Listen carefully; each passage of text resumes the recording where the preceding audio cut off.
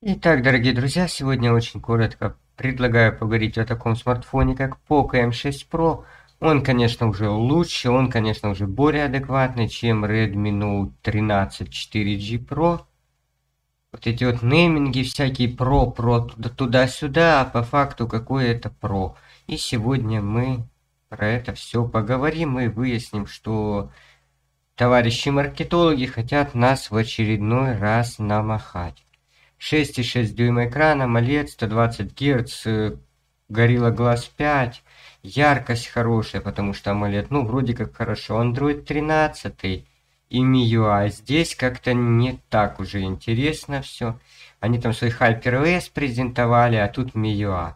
Почему? А потому что Helio G99, потому что Helio G99 это по сути довольно бюджетный процессор с графикой Mali G57. Android 14 какой-то обрезанный сюда еще как-то закинут, но на какую-то очень длительную поддержку я бы не рассчитывал, скорее всего. И здесь у нас 8 гигов оперативки, 256 стройки, это такая классика, 430, 450 тысяч в тестах Antutu набирает. Камера здесь 64 мегапикселя, это хорошо. Мы не переплачем за эти 200 мегапикселей, которые вы не факт, что увидите. И обычные ноутбуки, мониторы, которые есть дома у всех, они где-то отображают ну, адекватно, так с запасом даже, ну, это 12-16 мегапикселей. А 64 это далеко не везде вы сможете посмотреть нормально, под в полный размер, для того, чтобы вот увидеть эту детализацию, да, вы что-то зазумить, закропить, как-то вырезать какую-то карти часть картинки вы сможете.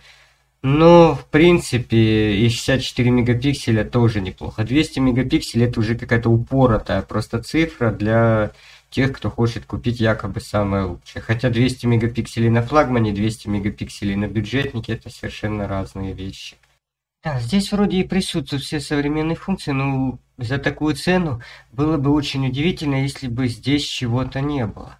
Нормальная комплектация, это чехол, зарядное устройство, но производитель берет за все это деньги. Если раньше такие вот базовые там ноуты и эти, казалось бы, бюджетные пока, они всегда стоили каких-то очень-очень таких понятных, доступных, приземленные какие-то суммы были. Да, были не выдающиеся характеристики, но и этот смартфон мог позволить себе каждый. Сейчас за это просят ну, 250 долларов. Где-то там 220, но до 200 долларов с памятью 256 не получается вложиться, соответственно, ну он уже не такой дешевый, не такой привлекательный, как многим казалось, как многие себе это представляли.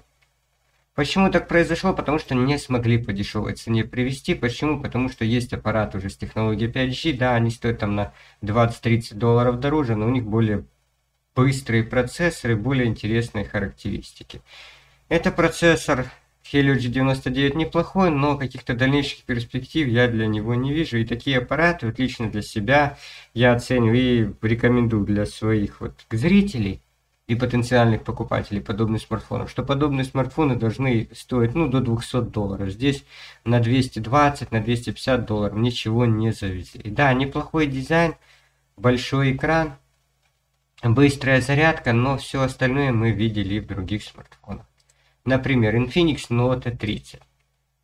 Тоже большой экран, здесь IPS, правда, стоит Helio G99, память 8256, 64 мегапикселя у нас модуль камеры, 45 ватт быстрая зарядка, характеристики попроще, но и цена 7000. Все-таки 9,5 и 7000 это очень большая разница. На эту разницу в цене можно вполне приобрести Powerbank неплохой, еще и на наушники также неплохие останутся.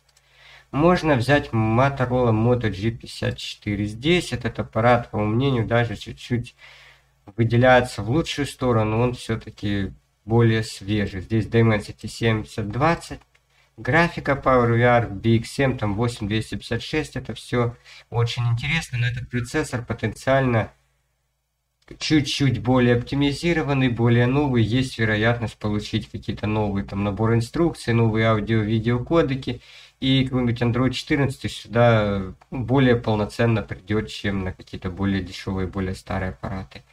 И в перспективе полутора-двух лет это также неплохо скажется на его производительности, его запасе какой-то вот прочности на длительной дистанции. Тех же 450 тысяч баллов в тесте Antutu, 50 мегапикселей основной модуль, 8 мегапикселей ультраширик, фронталка 16 мегапикселей.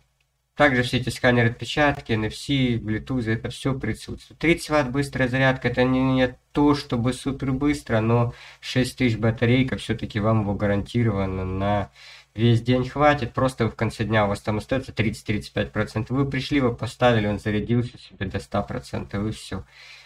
Цена 8,5 тысяч, в некоторых магазинах даже за 7,5 можно взять. Аппарат также довольно свежий, все в октябре 2023 года представлен. Poco M6 Pro выделяется, наверное, только дизайном, ультра такими тонкими маленькими рамками. Во всем остальном это такой же бюджетник, как Infinix Note 30, да и в некоторых моментах уступает Motorola Moto G54, а мы еще помним, что есть G84, которая еще чуть-чуть даже более наворочена. Исходя из этого, Poco M6 Pro может быть по очень-очень хорошим распродажам, каким-то скидкам, тысяч так за 7,5, за 8 можно рассмотреть. Иначе это просто переплата за бренд, хотя Poco никогда не считался прям уж таким премиальным брендом. А какой смартфон понравился вам, вы как всегда можете написать в комментариях. Всем пока!